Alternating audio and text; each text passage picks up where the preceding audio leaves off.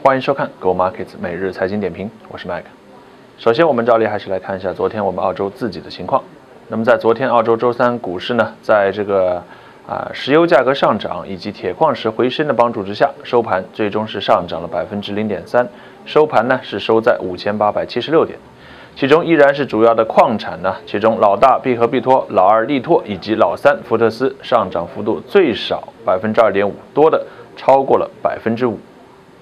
中国方面也是一样，昨天 A 股是第一天开盘啊，在上海和深圳呢两市分别出现大涨，其中上证指数达到了三千二百七十点，涨幅达到百分之一点五，深圳呢也是收到了一万零六百二十七点，涨幅高达百分之一点九啊。这个毫无疑问，就是因为呢，我们知道这个雄安特区啊，这个概念呢，使得清明节后第一天上证指数啊和深圳方面是出现了大涨。那么在欧美方面呢，并没有太大的变化啊，英国、法国、德国变化幅度在百分之零点五以下，德国下跌一点，英国和法国呢上升一点。美国三大指数呢虽说有所下跌，但是整体幅度在百分之零点三以下啊，幅度非常之小。另外呢，黄金价格下跌，达到重新在一千二百五十附近啊，现在是一千二百四十九左右。石油价格呢，则在五十一块钱上下徘徊。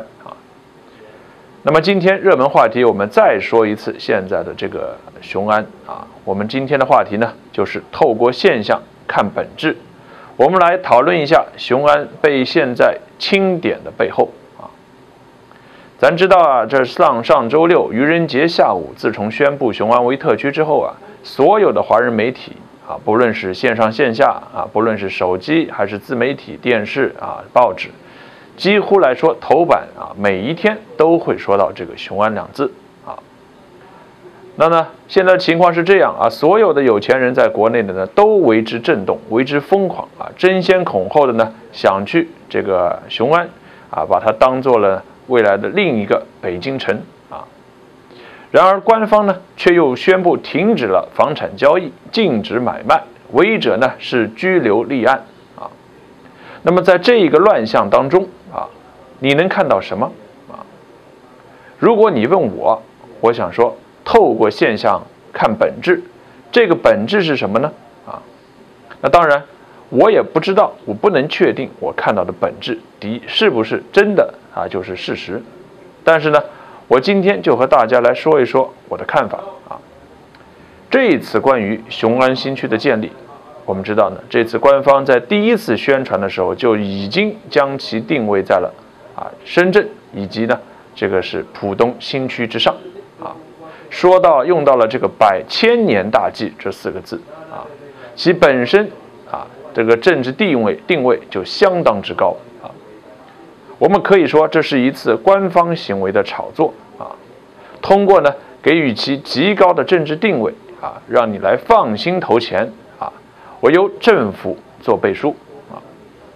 但是现在呢又不让老百姓去买房，使用的是啥呢？在我看来，使用的就是饥饿营销啊，目的就是为了营造这个话题，吸引资金。减少资金外流，啊，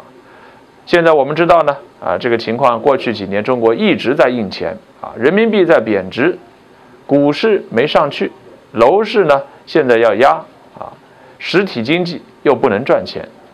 你说这个资金除了往外转之外，留在国内还有啥可做？因此，为了挽留资金，为了带动内需，为了让这些钱有地方去。你必须要创造一个新的概念啊，而且这个概念要必须足够的大，大到可以留住钱，大到可以留住人才啊。所以说，我们知道呢啊，现在呢啊，这个这个雄安，很多时候呢，不让不仅是让我想起了当年啊，早在一九八几年的时候呢，香港的金利来啊品牌进驻中国的时候，也是使用的是营销方法。通过漫天遍地的广告，哎，让这个金利来的品牌呢植入人心，但你就是买不到他的衣服，啊，造成呢市值